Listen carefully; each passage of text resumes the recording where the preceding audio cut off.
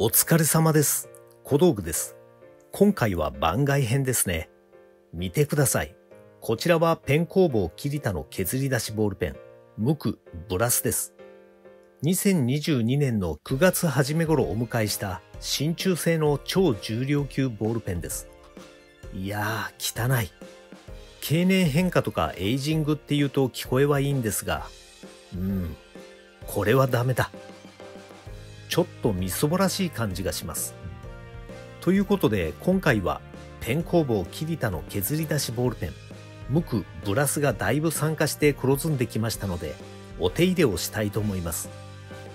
1916年創業の日本マリオ工業のピカールケアを使って磨いていきましょう。金属磨きのピカールは有名ですよね。このチューブタイプは使い勝手がいいんですよ。柔らかい布に適量をつけてから吹き吹きすると表面が研磨されて黒ずみが取れていきます。しっかり汚れを拭き取った後で柔らかい別の布で拭き上げたら完了です。真鍮は空気に触れたり手の油、皮脂に触れると酸化して黒ずんでいきます。それを経年変化とかエイジングって言うんですけど、やっぱり私はピカピカの方が好きですね。このピカールケアはうちのかみさんが台所のステンレスを磨くのに使ってるやつです。研磨剤としてアルミナ系鉱物が25%、そして脂肪酸や有機溶剤、灯油が含まれていて、アルミ、ステンレス、銅、ニッケル、クローム、真鍮などの金属を磨いたり、機械の汚れ落としとしてとても有効です。研磨剤が入っていますから、あまり磨きすぎると表面が削れていくので要注意です。メッキ処理が施された製品に使用すると、メッキが剥がれることがありますので注意が必要です。さて、こちらのペンは真鍮の無垢素材から削り出して作られた 78.6g のガツンと重いボールペンです。グリップ径が 11.2mm と程よい太さでよく手に馴染みます。このペンの紹介動画の URL を概要欄に貼っておきますので、興味のある方はご覧ください。さて、ペン工房キリタは1947年の創業以来、筆記具の専門メーカーとして国内大手メーカーにボールペンやシャープペンシルを OEM 製造してきました。特に金属加工を得意とし、金属製高級筆記具の分野では、ブランドボールペンの供給元として、業界トップクラスのポジションを築いていました。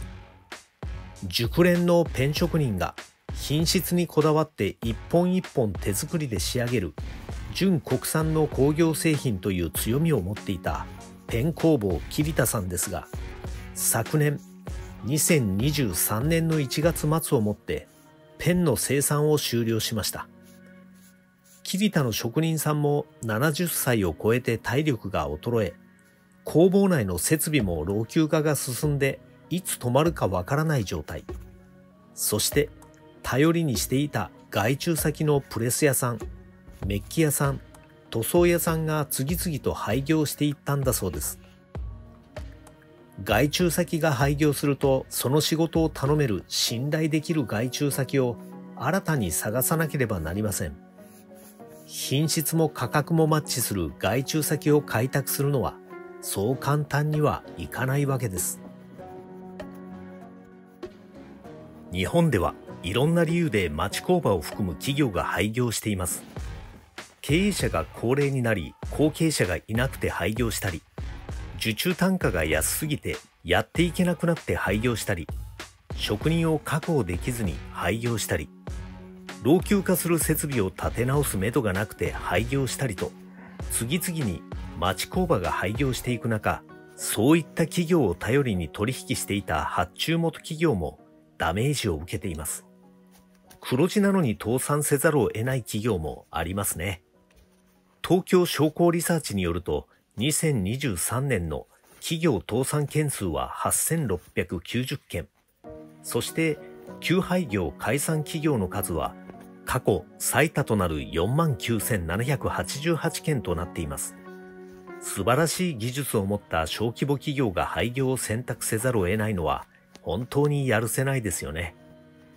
おっと、桐田さんの話をするとどうしてもしんみりしてしまいます。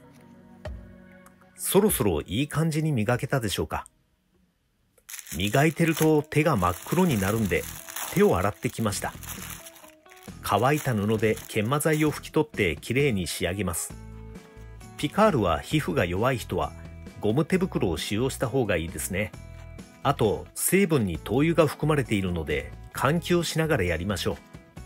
私は結構雑に磨きましたが、研磨剤が入ってるので強くこすらないで優しく磨くことをお勧めします。本当ならペンを分解して作業するべきなんでしょうけど、私は大雑把な性格なのでご容赦ください。研磨剤を使うとこういった隙間に粉が残るんですよね。この粉を取り除くのが少々面倒です。ということで、隙間に入った粉も取り除きました。どうでしょうか ?5 分程度をささっと磨いただけで結構綺麗になりましたよ。こうしてピカピカになると気持ちがいいですよね。いい感じに経年変化をしてくれればいいんですけど、その過程で小汚くなりますからね。私は手入れをして購入時の姿を楽しむ派です。と言っても今回は結構ほったらかしていました。それでは筆記してみましょう。キリタのインクリフィルはクロスタイプ芯が採用されています。国産のブルーインク、細字が入っています。ピカールで軸を磨いたおかげで手元が明るくなっていいですね。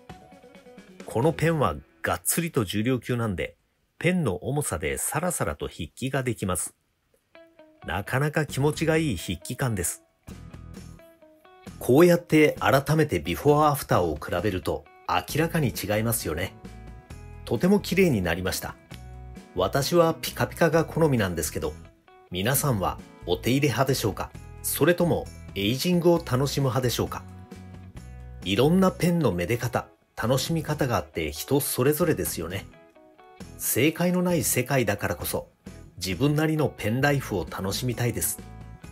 ということで参加して黒ずんでいたペン工房キリタの削り出しボールペン、無垢ブラスをピカールで磨いてみました。78.6g のガツンと重い真鍮無垢の削り出しボールペンは、ベテラン職人の香川さんの作品です。メッキや塗装などの表面処理をせずに、金属素材の風合いをそのまま剥き出しにしたロマンあふれるボールペンです。桐田さんのボールペンはやっぱりいいですよね。ペン作りが継続できなくなったのは本当に残念です。このペンは末永く大切にしたいと思います。それではまた次の動画でお会いしましょう。